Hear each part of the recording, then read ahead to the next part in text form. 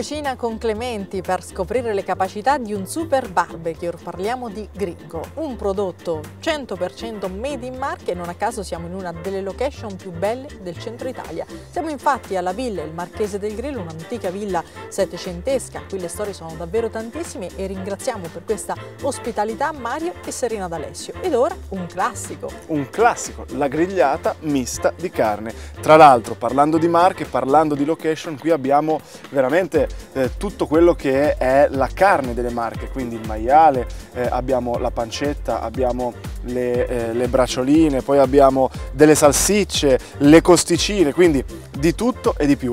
Inoltre, ovviamente, grazie a Gringo andremo a grigliare anche delle verdure, quindi eh, la doppia cottura, la doppia preparazione in un prodotto unico perché questo è un prodotto che ci permette di cuocere su tutti e quattro i lati con questa bella piastra molto spessa e soprattutto eh, durante magari l'inverno ci permette anche di scaldarci, quindi è anche un elemento di arredo. Eh, prima di tutto Lara io direi di incominciare a cuocere le verdure, quindi io con un filo di olio vado a condirle leggermente, non troppo, e metto anche il sale il sale è fondamentale prima della cottura per le verdure perché è idroscopico, questo significa che eh, va a disidratare in precedenza le verdure prima appunto della cottura e quindi ci permette di eliminare quella parte di acqua, di vegetazione che sta all'interno delle verdure che tendenzialmente non è così buona da mangiare. Quindi se noi centrifugassimo una, una, melanzana nessuno se ne berrebbe il succo perché in realtà l'acqua delle verdure non è edibile. Grazie al sale riusciremo a disidratarle. Le metto direttamente sulla piastra, come vedi è molto semplice l'operazione, e poi a seconda, senti come sfrigolano, della temperatura che voglio ottenere, posso decidere se metterle più avanzate oppure più indietro, così da avere una cottura e una temperatura dif differenti metto anche qualche peperone, voilà, così da avere un po' un mix. E poi sempre con una bella, con una bella pinza le vado a girare, guarda che meraviglia, vedi? Incominciano ad essere già belle dorate.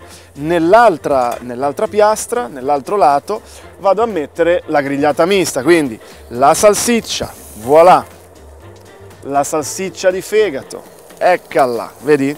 Semplicissimo. Poi la pancetta ovviamente, naturalmente ogni, ogni pezzo di carne avrà una cottura diversa e quindi dovremmo metterla scaglionata, quindi magari prima mettiamo le salsicce, poi aspettiamo qualche minuto ed eventualmente aggiungiamo la pancetta.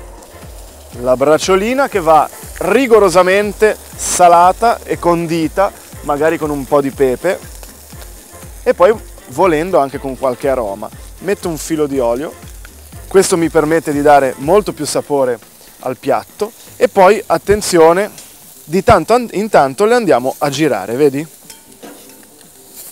Se vogliamo lasciar cuocere più lentamente anche le altre verdure, basta arretrarle leggermente in questo modo. Tu immaginati in inverno un bel barbecue, io dico in inverno perché gringo è anche un elemento da riscaldamento esterno, quindi è davvero eccezionale. Magari con un bel bicchiere di vino, tutti intorno al barbecue e ognuno sceglie la propria cottura, ognuno si cuoce il suo spiedino oppure il suo filetto di carne. Ecco, vedi Lara? Appena le nostre verdure incominciano a cuocere, le andiamo a servire. Quindi mettiamo da una parte tutte le verdure. Guarda come cuociono anche la salsiccia, la salsiccia di fegato, ovviamente la pancetta. La pancetta impiega poco tempo a cuocere, però guarda che bella croccantezza, che bella doratura.